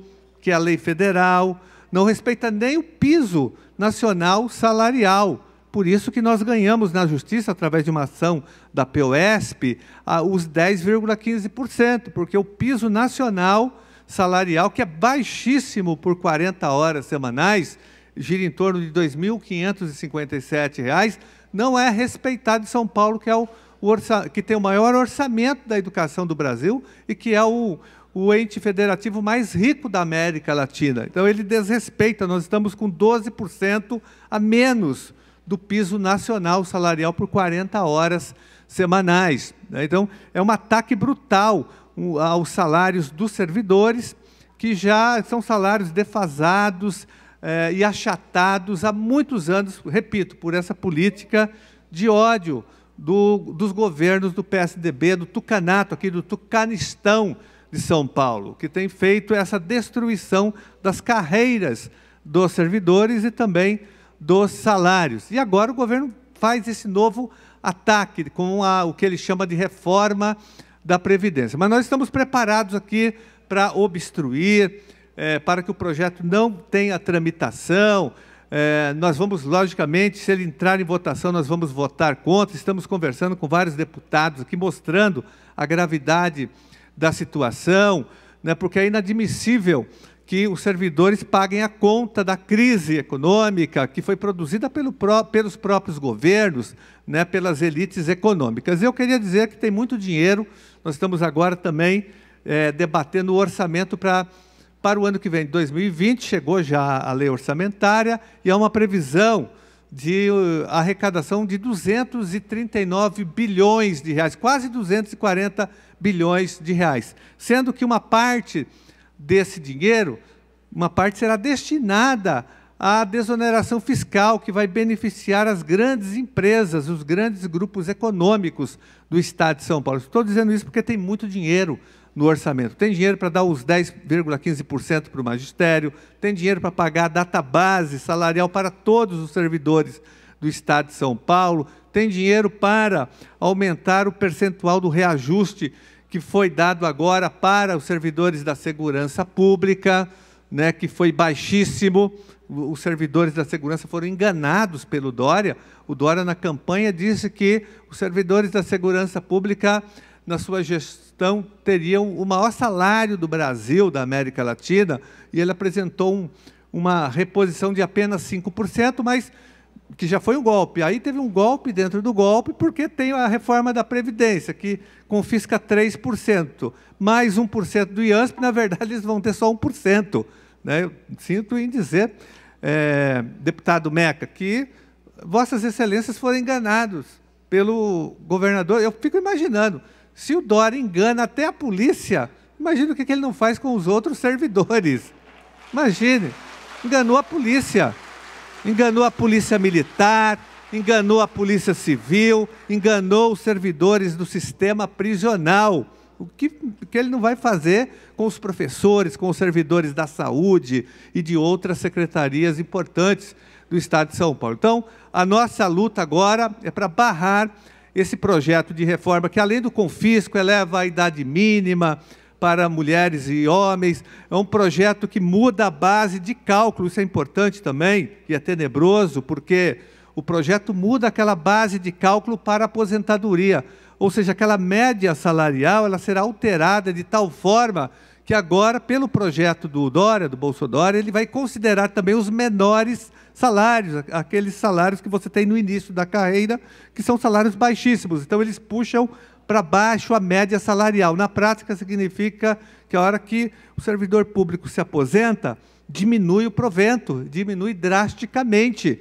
Então, isso é muito grave. Há, tem uma questão gravíssima, gravíssima também, que é a pensão por morte, que diminui, cai para 60%. Então, uma, uma, a esposa de um professor, por exemplo, se o professor morreu, ela só vai receber 60% dos proventos. Um absurdo total o projeto. Eu digo que ele é pior que o do Bolsonaro. Então, tem várias contradições, várias ilegalidades. Então, nós vamos acionar a justiça, nós vamos tomar várias medidas aqui para que esse projeto não seja votado. Né? Então, mas é muito importante, só para ir, ir concluindo a minha fala, senhor presidente, é que haja uma grande mobilização de todos os servidores públicos do Estado de São Paulo, porque a reforma é tão nefasta, tão perversa e ela é tão ampla que ela atinge todos os setores do funcionalismo. Atinge os defensores públicos, os procuradores de justiça, atinge o Tribunal de Justiça do Estado de São Paulo, todas as secretarias, ninguém escapa dessa fúria do Dória em tentar destruir as nossas carreiras, em tentar confiscar salários e benefícios dos servidores e das servidoras. Então, nós temos que estar unidos durante todo esse período, convencendo os deputados, fazendo a ocupação política da Assembleia Legislativa. Então, ocupa a LESP, né? nós estaremos ocupando a Assembleia Legislativa dia e noite aqui para convencer os deputados a não deixar que esse projeto nem chegue aqui no plenário, porque é um projeto de lesa humanidade. Repito, tem dinheiro no orçamento para fazer reajustes, para pagar a database, para dar o, o, o, reajuste dos professores.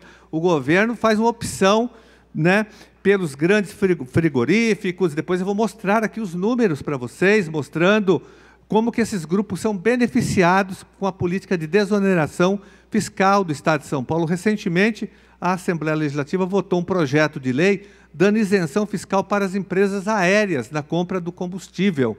Eh, reduziu o, o imposto de 25% para 12%. Com isso, o Estado de São Paulo perde anualmente mais de 60, 600 milhões de reais.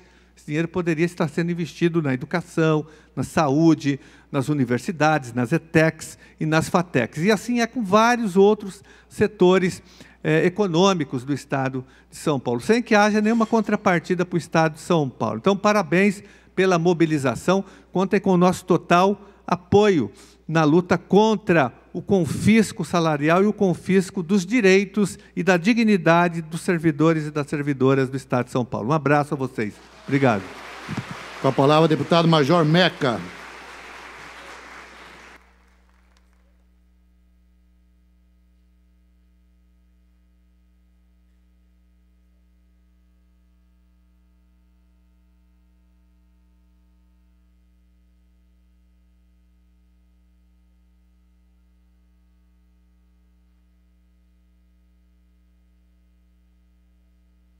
Uma boa tarde, senhor presidente, senhoras senhores deputados, os funcionários da Assembleia Legislativa que nos dão suporte, aos nossos irmãos que estão na galeria, que Deus os abençoe. Todos os senhores são sempre muito bem-vindos a essa casa. Essa casa é a casa do povo e todos nós temos que participar das demandas dentro do nosso Estado. Hoje, nós atravessamos um momento extremamente preocupante no estado de São Paulo.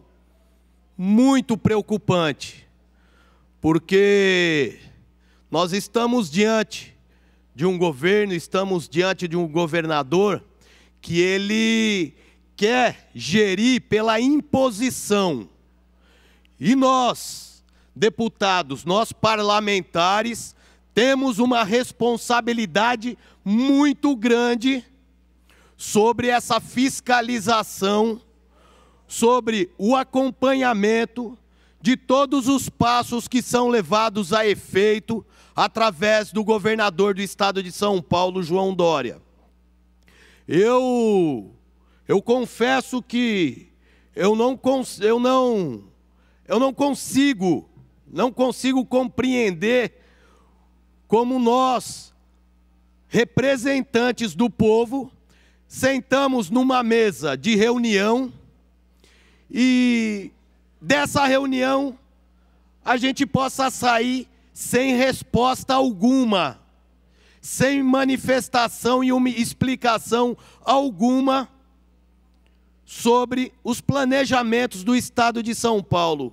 Eu me refiro a uma reunião que eu participei a semana passada, onde resultou ontem, na data de ontem, num requerimento de informações que nós precisamos fazer para que nós consigamos obter do Estado a resposta acerca do planejamento que, o, que a Secretaria de Fazenda tem acerca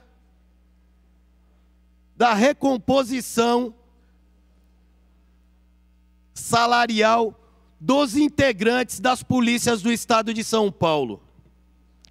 É inconcebível nós sentarmos numa mesa de reunião, como aconteceu, e nós não termos uma resposta sobre um plano de gestão, de como as coisas acontecerão, seja com os integrantes das polícias, sejam com os professores do estado de São Paulo, sejam com os integrantes das demais instituições, que nós, por termos trabalhado dentro de um órgão do Estado, eu, no caso, fui policial militar por 31 anos.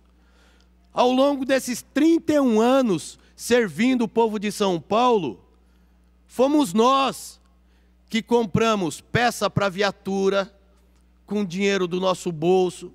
Nós que compramos tinta para pintar o quartel. Somos nós que compramos muitas vezes papel higiênico para colocar no banheiro, comprar papel sulfite para imprimir documento. E nós sabemos dessa realidade dentro do estado de São Paulo, em todos os órgãos, seja na Secretaria de Educação, seja nas demais secretarias. Nós estamos cansados e o nosso idealismo, a nossa vontade em servir ao próximo, que vem se perdurando até o presente momento, nós fomos eleitos pelo povo para dar voz a essa indignação, a esse descaso que nós atravessamos. E é impressionante como nós somos ignorados em nossas manifestações junto ao governo do Estado. Manifestações, seja aqui em plenário, seja nas reuniões com os secretários de governo, seja nos documentos que enviamos às secretarias, não é possível que uma pessoa, que um grupo de pessoas queira conduzir o estado mais rico do nosso país, o maior estado que é a locomotiva da nossa nação, de forma impositiva, de forma a querer fazer com que todos nós participemos de um teatro para um trabalho em benefício próprio, para que amanhã o nosso o, o, o governador do estado de São Paulo possa concorrer a presidente dessa nação.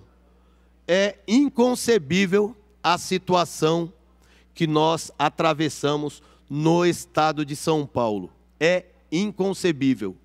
Ontem à tarde nós estivemos num, num evento onde policiais militares, junto com crianças de várias escolas, através do PROERD, de um programa que leva a conscientização às nossas crianças, às famílias, para que nós possamos lutar na prevenção contra as drogas, famílias, pais, mães, crianças, policiais militares, todos nós engajados em fazer de São Paulo um lugar melhor.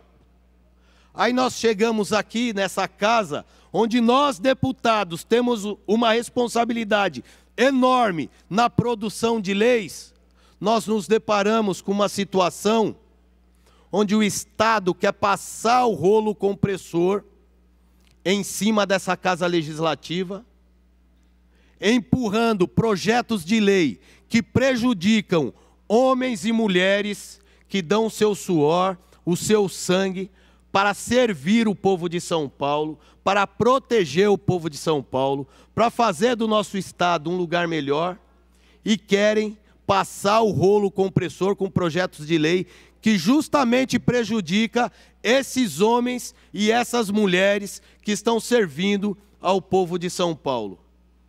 É uma situação, é um momento extremamente preocupante, muito preocupante. No dia de hoje nós vemos os corredores da Assembleia Legislativa, a nossa galeria tomada por homens e mulheres que servem o Estado de São Paulo e que estão extremamente preocupados com os seus direitos e as suas garantias, que é algo que nós, deputados, temos que nos manifestar contra esses projetos que passam por cima da dignidade dos policiais, dos professores e de todos os funcionários públicos do Estado de São Paulo. Contem com nosso apoio contra esse pacote de maldades. Muito obrigado.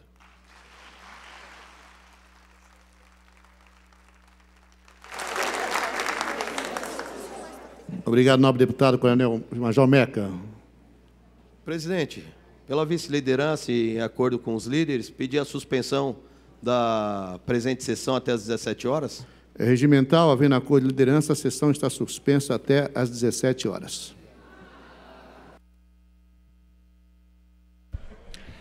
A sessão está suspensa, então, até às 17 horas. Ah, em 45 minutos nós voltamos. Acompanhe a programação normal da TV Alesp.